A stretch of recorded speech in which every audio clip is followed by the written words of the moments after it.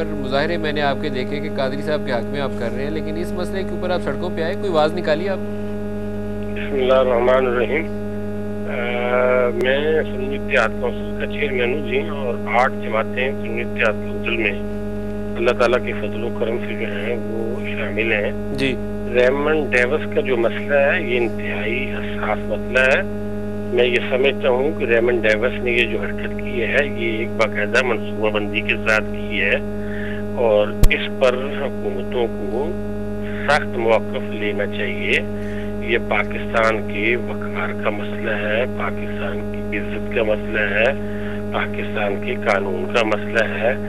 کوئی فضل کریم صاحب کیا وہ جو فیملیز تھیں وہ جو نوجوان دو مارے گئے تیسرے کو گاڑی کے نیچے کچل دیا ان کے اہل خانہ کے پاس آپ گئے معلوم کرنے کہ ان جی، کو تو سرکار ہماری ڈاکو قرار دینے لگی تھی؟ گئے آپ ان کے گھروں میں؟ جی میں عرض کروں میرا پروگرام کل جانے کا ہے جی ان کے پاس کل ابھی جانے کا پروگرام ہے ابھی تک آپ گئے نہیں۔ جی نہیں میں ابھی تک نہیں گیا۔ ہمارے ساتھی بہت سے جو ہے وہ ان کے ہاں گھر میں گئے ہیں ان سے مل کے آئے ہیں ان سے تعزیت کر کے آئے ہیں۔ پورے ملک کے اندر ہم نے اس کے اوپر پریس کانفرنس کی ہیں ہم احتجاج جو ہے وہ باقاعدہ فضل کریم صاحب اس کے اوپر آپ نے احتجاج کیوں نہیں کیا۔ جب میں ان کے اہل خانہ سے بات کر رہا تھا میں نے گزشتہ روز بھی پروگرام کیا تو مجھے یہ سن کر بڑا ہی دکھ ہوا کہ ہماری جو سیاسی جماعتیں ہیں اور لیڈران اور مذہبی جماعتیں جس میں آپ بھی شامل ہیں پریس کانفرنس اور بیانات جب دیتے ہیں مظاہرے کرتے ہیں اس ایشو کے اوپر آپ سڑکوں پہ نہیں آئے؟ دیکھیں میں عرض کروں جب سڑکوں پہ آنے کا وقت آیا تو انشاءاللہ تعالیٰ بالکل آئیں گے اور ضرور آئیں گے۔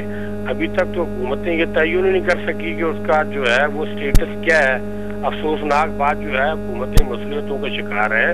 حکومتیں جو ہیں وہ خاموش ہیں ہر چیز یہ کہہ دیتی ہیں کہ عدلیہ کا کام انویسٹیگیشن کرنا تو نہیں ہے۔ صاحب زیادہ فضل کریم صاحب حکومتیں ہماری تو بہت سارے مسئلوں کے اوپر مسلحت کا شکار رہتی ہیں لیکن آپ تو سڑک پہ آ جاتے ہیں۔ نہیں، یہاں تک اس بات کا تعلق ہے کہ ریمن ڈیوس کے سلسلے میں ہم نے اس کے اوپر ڈے ون سے بالکل کلیئر کٹ جو ہے وہ موقف اختیار کیا ہوا ہے اور اس کے اوپر کوئی لچک نہیں ہے۔ آپ دیکھیں کہ ہم نے جو بیان دیا ہے ڈے ون سے اس نے یہ بیان دیا ہے کہ ریمن ڈیوس کے متعلق حکومت کلیئر کٹ پالیسی جو ہے، وہ اپنا ہے۔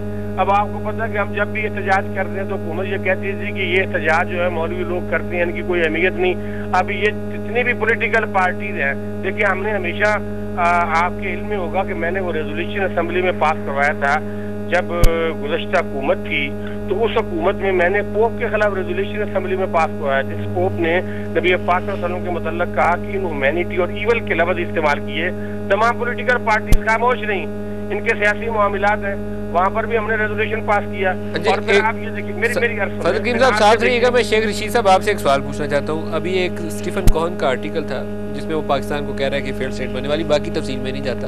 لیکن ایک ایک اس کا فکرہ ہے مجھے وہ روز پیچ کرتا ہے۔ وہ کہتا ہے کہ اسرائیل کیا کر رہا ہے فلسطین میں؟ اس پہ پاکستانیوں کو بڑی تکلیف ہے، لیکن مار رہے ہیں، اس کے اوپر آواز نہیں اٹھاتے۔ یہ بات وہ جتنا اچھا ہے یا برا، یہ بات اس کی سچی ہے۔ دیکھیں، اس نے تو بہت ہی غلیظ قسم کے بھی جملے استعمال ہوئے ہیں۔ لیکن میں اس طرف نہیں جاتا بٹ انفیکٹ یہ ہے کہ اب اس فیصلہ ہو جائے گا ہماری قومی غیرت اور اہمیت کا اور سوچ کا کہ either we are a nation اور اے کراؤڈ جو کہ عام ہمارے بارے میں یہ رائے ہے کہ ہم جو ہے فساد کی یا برائی کی یا خرابی کی یا انتشار اور خلفشار کی اس نہج پہ پہنچ چکے ہیں کہ شاید ہم تباہی کے تھانے پہ کھڑے ہیں اور ایک معمولی سی ہوا کا جھوکا یا دھکا ہمیں اپنے مقام پہ پہنچا دے گا اور ہماری کل اہمیت دنیا میں صرف دو وجہ پہ ہے۔ One is the terrorism and second is the atomic ہمارے یہاں جو امبیسڈر آتے ہیں وہ کوئی ڈپلومیسی کے لیے نہیں آتے۔ اس جو جرنلسٹ آتے ہیں سوری ٹو سے وہ ایک زمانہ تھا ہمارے ہائی رینکنگ ڈپلومیٹس آتے تھے۔ ایک زمانہ ہمیں پولیس کے کور سروس کے لوگ آتے۔ ہیں موسٹلی ہمارا بیس جو ہے، ہمارے ملک کے اندر اس قسم کی فضا ہے کہ ہم اس اس اندھے شخص کی مانند ہیں جو کنویں میں جا رہا ہے اور کہہ رہا ہے کہ ہم شرائع جمہوریت پہ چل رہے ہیں۔ ہم مفامت کی پالیسی پہ چل رہے ہیں۔ ہم تباہی کی جانب جا رہے ہیں۔ جتنی معاملات کی خرابی اربن ایریا میں ہو رہی ہے، جس کو کسی کا احساس نہیں ہے۔ کئی لوگ گھر بار چھوڑ کے ملک سے باہر جا رہے ہیں۔ یہ دوبارہ وہی وقت آ رہا ہے جب لوگوں نے کینیڈا اور دبئی جانا شروع کیا تھا اور دونوں گروپس وہاں جا کے تباہ ہو گئے۔ پھر جو بڑے سمارٹ لوگ بنتے ہیں، جن کے اکاؤنٹس باہر ہیں، جن کی جدادیں باہر ہیں، وہ کہتے ہیں جی بچہ باہر پڑھ دے گا، فلاں پڑھ دے گا۔ یہ سارے ہمارے بچوں کے لیے، ہمارے بچوں کا مستقبل جو ہے، اس